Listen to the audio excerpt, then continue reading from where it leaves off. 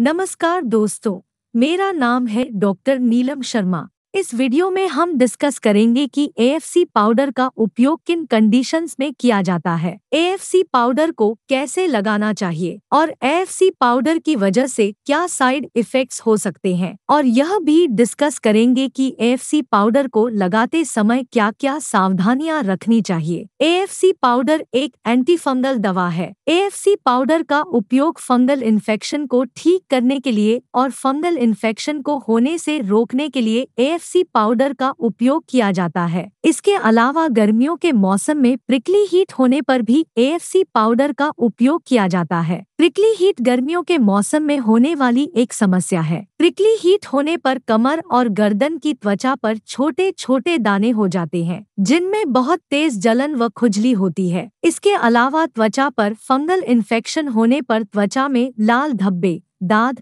खाज खुजली और त्वचा में जख्म आदि लक्षण दिखाई देने लगते हैं और फंगल इन्फेक्शन होने पर त्वचा पर पपड़ी जमना, त्वचा का पपड़ी बनकर उतरना, त्वचा में दरारें होना, त्वचा का कुछ हिस्सा सफ़ेद व नरम होना आदि लक्षण भी फंगल इन्फेक्शन होने पर हो सकते हैं। फंगल इन्फेक्शन शरीर के किसी भी हिस्से में हो सकता है। फंगल इन्फेक्शन जांघों में भी हो सकता है। इसलिए जांघों के फंगल इन्फेक्शन को ठीक करने के लिए भी डॉक्टर एएफसी पाउडर को लगाने की सलाह दे सकते हैं। एएफसी पाउडर त्वचा के फंगल इन्फेक्शन को ठीक करके त्वचा में जलन, खुजली और त्वचा के रैशेस को ठीक करने में मदद करता है। अब हम डिस्कस करेंगे कि एएफसी पाउडर को कैसे लगाना रिकमेंडेड होता है। ज़्यादातर व्यक्तियों को डॉक्टर एएफसी पाउडर को प्रभावित एरिया पर दिन में दो से लेकर तीन बार लगाने की सलाह देते हैं। डॉक्टर एफ़ सी पाउडर को दो सप्ताह से लेकर चार सप्ताह तक लगातार लगाने की सलाह दे सकते हैं। एफ़ सी पाउडर को लगाने के बाद आपको अपने हाथों को साबुन की मदद से अच्छी तरह से धो लेना चाहिए, ताकि इन्फेक्शन दूसरी जगह पर ना फैले। दोस्तों, अगर आपको वीडियो पसंद आ रहा है तो कृपया वीडियो को लाइक करना न भूले। अब हम डिस्कस करेंगे कि एएफसी पाउडर की वजह से क्या साइड इफेक्ट्स हो सकते हैं। वैसे तो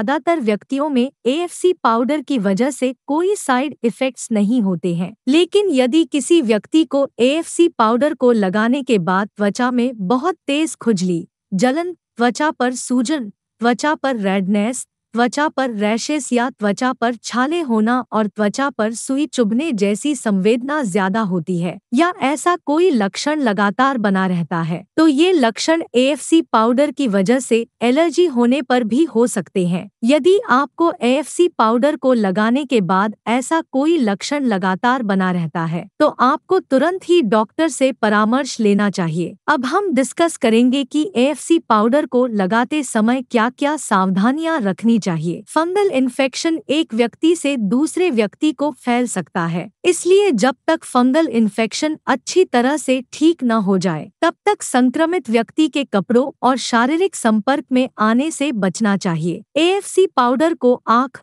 नाक, मुँह और वजाइना के अंदर लगाना रिकमेंडेड नहीं है। इसलिए एएफसी पाउडर को आँख, नाक मुँह और वजाइना के अंदर नहीं लगाना चाहिए। अगर आपको एएफसी पाउडर को पैरों में लगाना है तो एएफसी पाउडर को पैरों में लगाने से पहले आपको अपने पैरों व हाथों को अच्छी तरह से धो लेना चाहिए और उसके बाद पैरों व हाथों को अच्छी तरह सुखाने के बाद ही एएफसी पाउडर को लगाना चाहिए। प्रेग्नेंट महिलाओं और स्तनपान करा रही महिलाओं के लिए एएफसी पाउडर का उपयोग करना सुरक्षित है। इसलिए डॉक्टर ज़रूरत पड़ने पर प्रेग्नेंट महिलाओं और स्तनपान करा रही महिलाओं को एएफसी पाउडर को लगाने की सलाह दे सकते हैं। वीडियो को देखने के लिए आपका धन्यवाद। अगर आपको वीडियो पसंद आया तो प्लीज़ वीडियो को लाइक कर देना, चैनल को सब्सक्राइब कर लेना और अगर आपका एएफसी पाउडर से संबंधित कोई प्रश्न है तो आप कमेंट करके पूछ सकते हैं।